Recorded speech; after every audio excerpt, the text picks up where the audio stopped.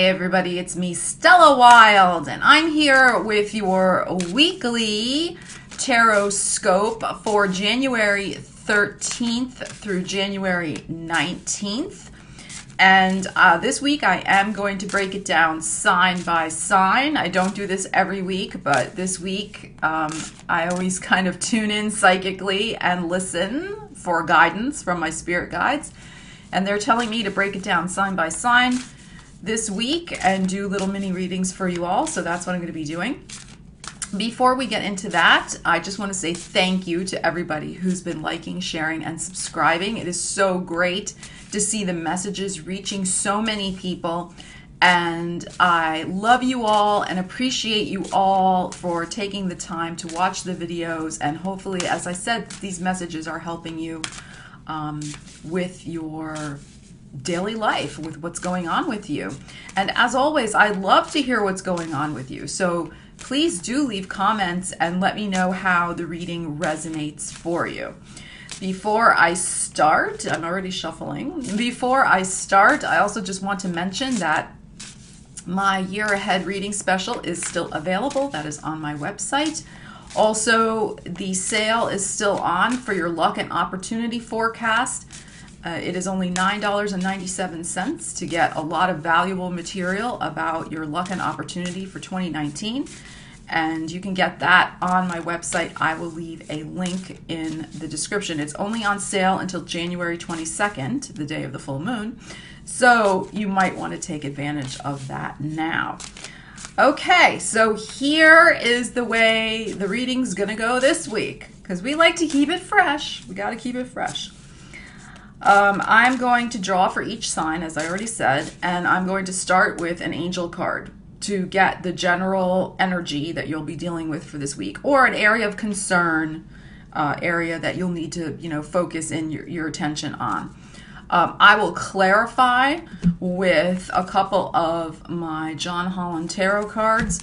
And then after that, I had a special request from one of my loyal viewers, loyal fans, and she asked if I would please continue doing the angel card when I ask you guys to think of a question and then I pull a card. So we'll do that for each sign this week, not the elements, but each sign will get an angel answer card.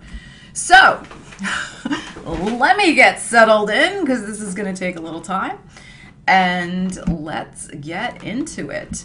And as you know, I have to pause the video every 10 minutes or so so my computer doesn't have a meltdown. All right, so let's get into this. I hope that you had a good week. It's been a very interesting week this last week. that's all I'm gonna say. It's been it's been very interesting. Um, a lot of different things happening. We're already feeling shifts with the eclipse. I certainly have been feeling it. People that you know are close friends of mine have been feeling it. So I hope that the eclipses are treating you well. Um, all right, so let's get started. And last but certainly not least are my lovely Pisces. So, my Pisces, what do they need to know about their week ahead? What is going on with them? As we build up to this full moon lunar eclipse,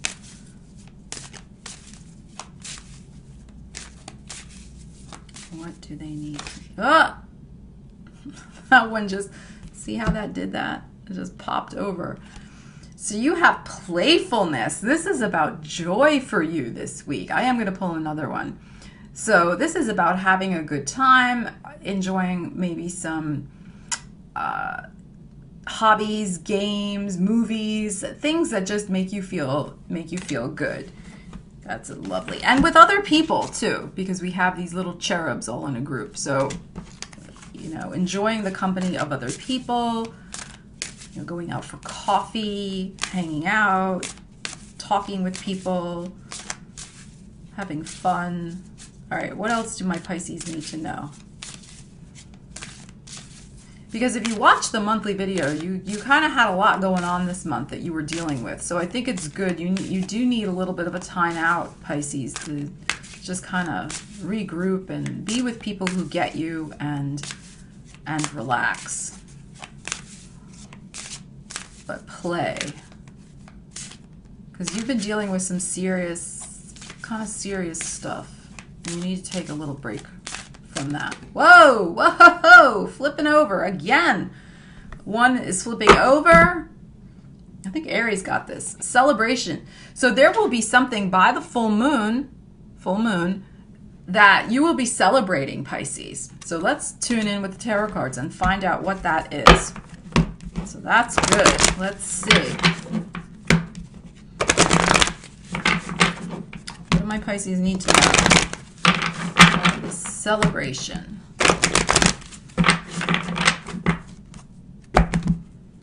Okay. Oh my God, this card keeps coming up. Scorpio got it. Aquarius got it. Or was it? No. Yeah. Capricorn got it. I think Aquarius got it too.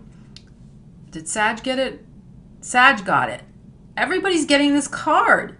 Vict well not everybody, but victory and success. There is something I want to know what this victory and success is going to be though.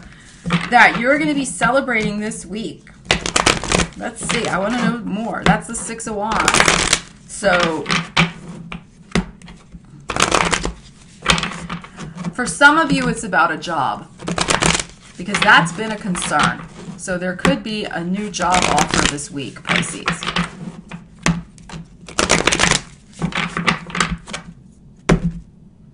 And it's going to be something you're want that's going to be like a big announcement that you are going to be finally saying to people, "Oh, and then this happened." You know, and you're going to be really excited.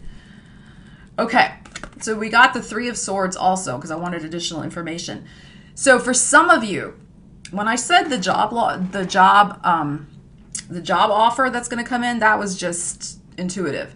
But now looking, you know, psychic, hearing that. But now this is heartache and loss. I feel some of you will be celebrating finally getting over a heartbreak because you are probably going to meet somebody this week. Or you are at the very least going to be in the company of people who are going to be very fun.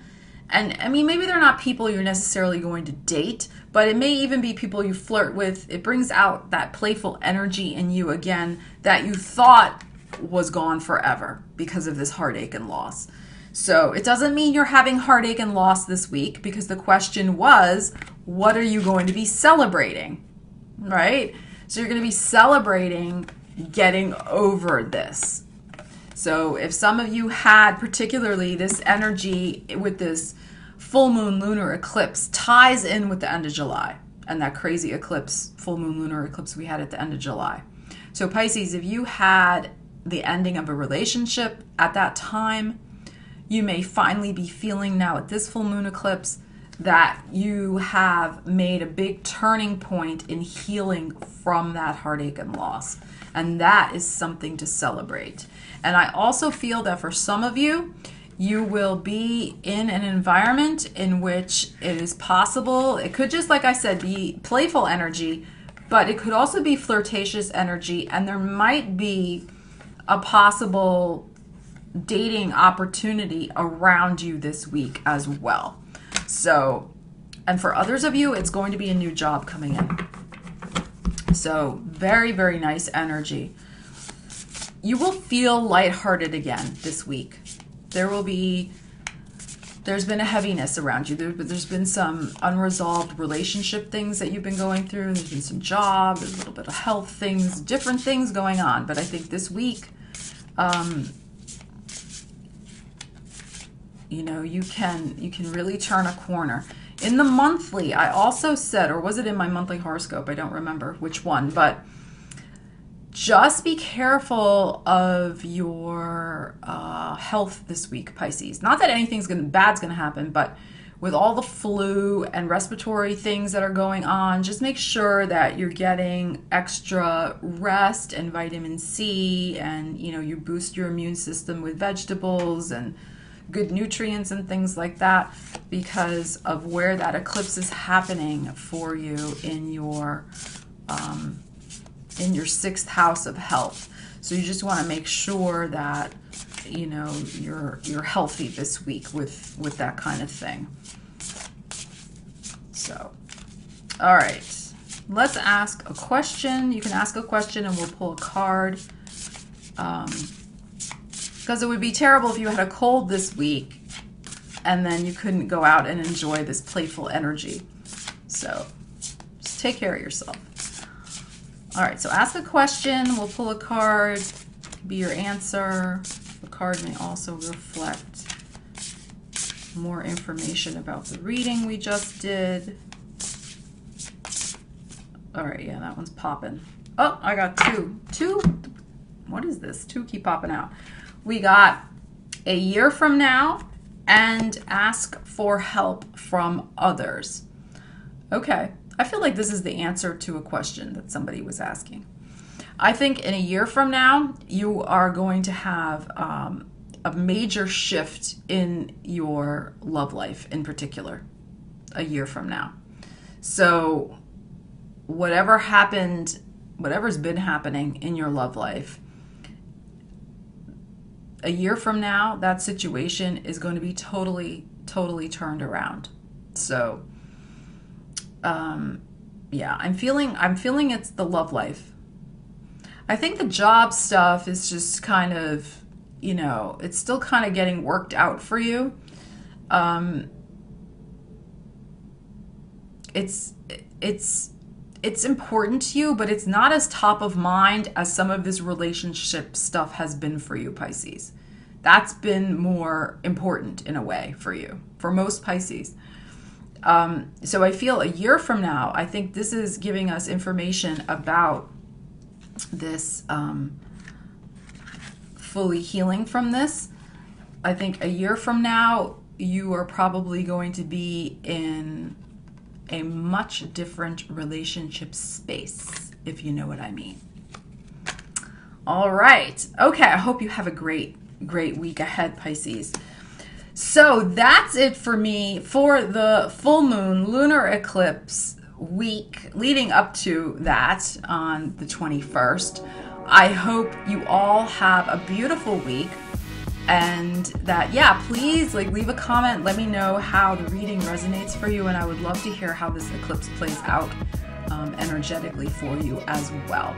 So i hope everybody has a great week. Take care and i will see you soon. Stella Wilde signing out